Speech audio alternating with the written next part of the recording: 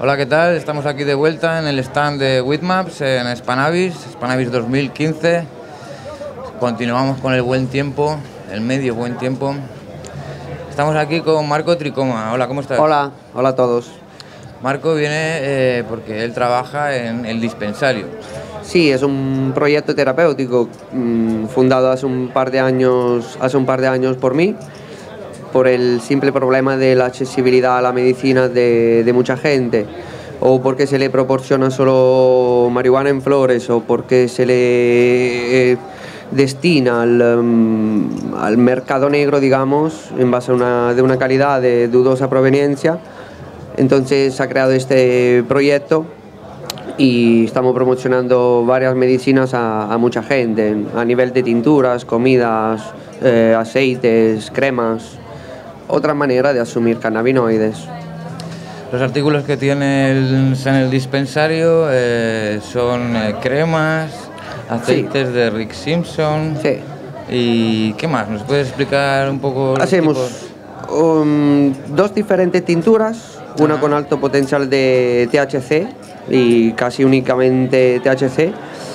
Digamos, es una, una terapia que tiende a activar una persona ya sea por patología que, que la tenden a deprimir o que la tenden a, a tener una vida demasiado posada, le, se le da THC para reactivar y por las neurodegenerativas.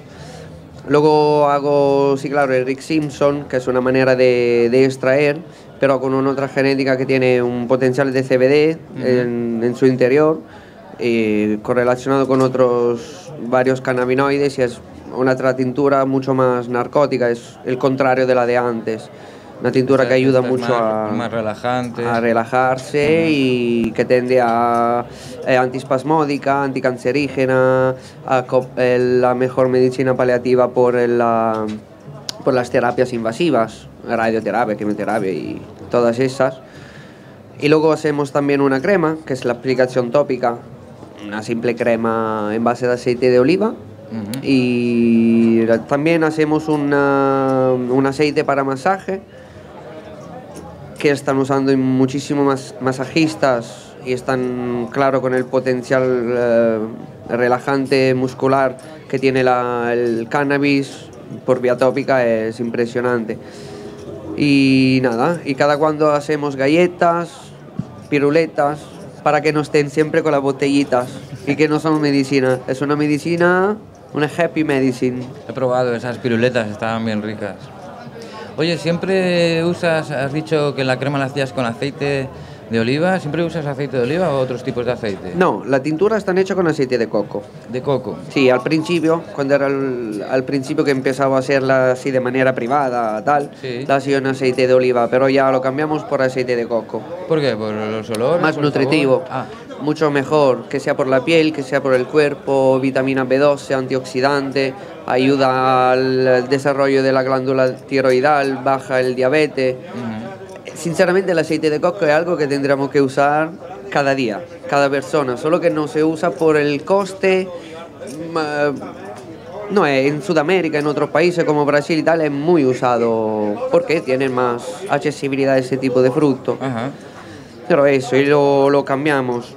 El, eh, las tinturas hay diferentes graduaciones, claramente, porque hay gente que quiere más, que necesita más o que necesita menos, dependiendo de la patología o del estado de la persona. Y así vamos. Muy bien. ¿Y estos productos del dispensario? Oye, Marco, ¿dónde podemos conseguirles? Ve, eh, sinceramente están en muchísimas asociaciones, ¿Asociaciones como ya una de aquí de Barcelona o también aquí de Barcelona. Fuera? También están llegando afuera de, de, de, otra manera, están llegando también afuera, digamos, uh -huh. estos medicinales. Es interesante, si estos son productos medicinales que, sí, que lleguen al público. Y sobre todo es una necesidad del cannabis. El cannabis, eh, para mí, como lo vivo yo, que trabajo en el lúdico, en el terapéutico, son dos mundos completamente diferentes, que se pueden acoplar de una cierta manera, pero eh, una parte se elige el uso del cannabis y la otra lo necesita. Claro.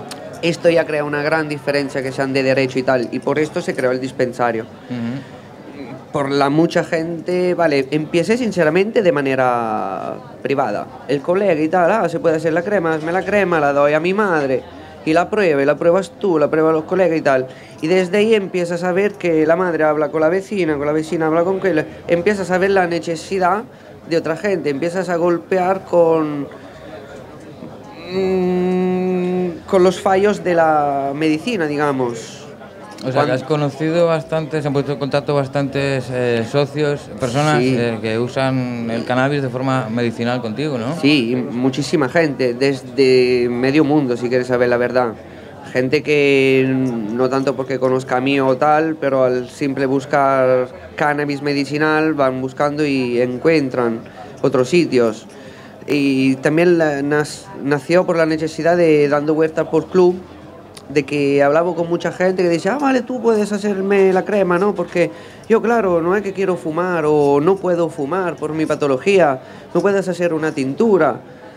Y así nació la necesidad de meterme en esto fundamentalmente. Gente que, no fumaba cannabis, dices, y sea por la necesidad igual de, rebajar su enfermedad. hay mucha gente que, por ejemplo, tiene una condición de vida que no pueden fumar simplemente por una persona que a la mañana se tiene que levantar y llevar dos hijos a la escuela. Métete en un coche tal que tú por dolores te tiene que fumar un porro y no es tan...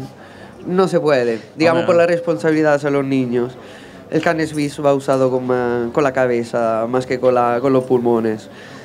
Pero está haciendo otros, eh, otras técnicas de extracciones y otros pasajes en el tratamiento del cannabis, podemos conseguir extracciones y tinturas que no tengan principios activos y que ayuden la patología de esta misma persona para afrontar la, la propia vida. De personas con la simple insomnia que son 20 años que van cambiando, habrán cambiado 50 terapias y siempre vuelve, siempre vuelve.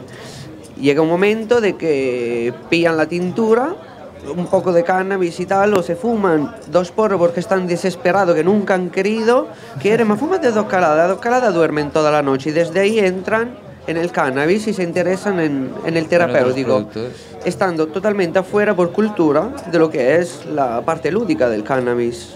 Claro, claro. Pues muy interesante, Marco, de verdad. Muchas gracias eh, por estar aquí.